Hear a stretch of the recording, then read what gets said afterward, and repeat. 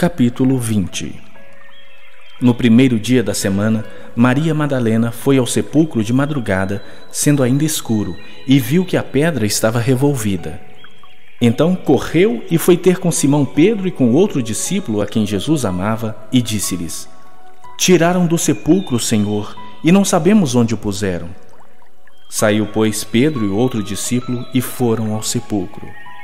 Ambos corriam juntos, mas o outro discípulo correu mais depressa do que Pedro e chegou primeiro ao sepulcro. E abaixando-se, viu os lençóis de linho. Todavia não entrou.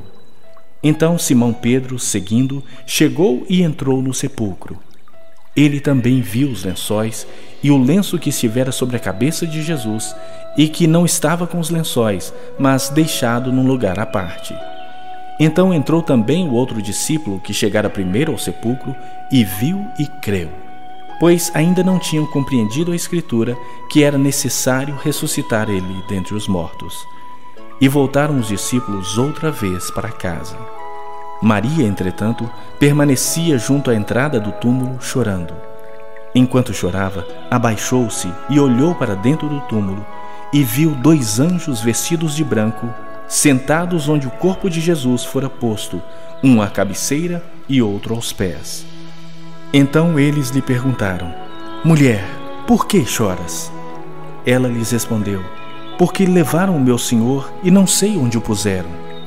Tendo dito isto, voltou-se para trás e viu Jesus em pé, mas não reconheceu que era Jesus. Perguntou-lhe Jesus: Mulher, por que choras? A quem procuras? Ela, supondo ser ele o jardineiro, respondeu: Senhor, se tu o tiraste, dize-me onde o puseste, e eu o levarei. Disse-lhe Jesus: Maria.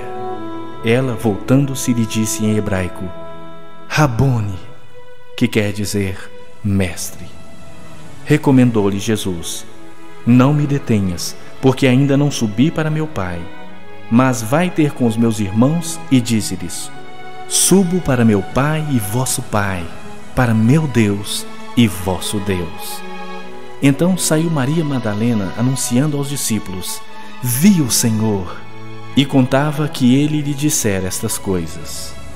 Ao cair da tarde daquele dia, o primeiro da semana, trancadas as portas da casa onde estavam os discípulos com medo dos judeus, veio Jesus, pôs-se no meio e disse-lhes: Paz seja convosco. E dizendo isto, lhes mostrou as mãos e o lado. Alegraram-se, portanto, os discípulos ao verem o Senhor. Disse-lhes, pois, Jesus outra vez: Paz seja convosco. Assim como o Pai me enviou, eu também vos envio. E havendo dito isto, soprou sobre eles e disse-lhes: Recebei o Espírito Santo. Se de alguns perdoardes os pecados, são-lhes perdoados se os retiverdes, são retidos. Ora, Tomé, um dos doze, chamado Dídimo, não estava com eles quando veio Jesus. Disseram-lhe então os outros discípulos: Vimos o Senhor. Mas ele respondeu: Se eu não vir nas suas mãos o sinal dos cravos, e ali não puser o dedo e não puser a mão no seu lado, de modo algum acreditarei. Passados oito dias, estavam outra vez ali reunidos os seus discípulos e Tomé com eles. E estando as portas trancadas, veio Jesus, pôs-se no meio deles e disse-lhes: Paz seja convosco. E logo disse a Tomé: Põe aqui o dedo e vês as minhas mãos. Chega também a mão e põe-na no meu lado. Não sejas incrédulo, mas crente. Respondeu-lhe Tomé: Senhor meu e Deus meu. Disse-lhe Jesus: Porque me viste e creste? Bem-aventurados os que não viram e creram. Na verdade, fez Jesus diante dos discípulos muitos outros sinais que não estão escritos neste livro. Estes, porém, foram registrados para que creiais que Jesus é o Cristo, o Filho de Deus, e para que, crendo, tenhais vida em seu nome.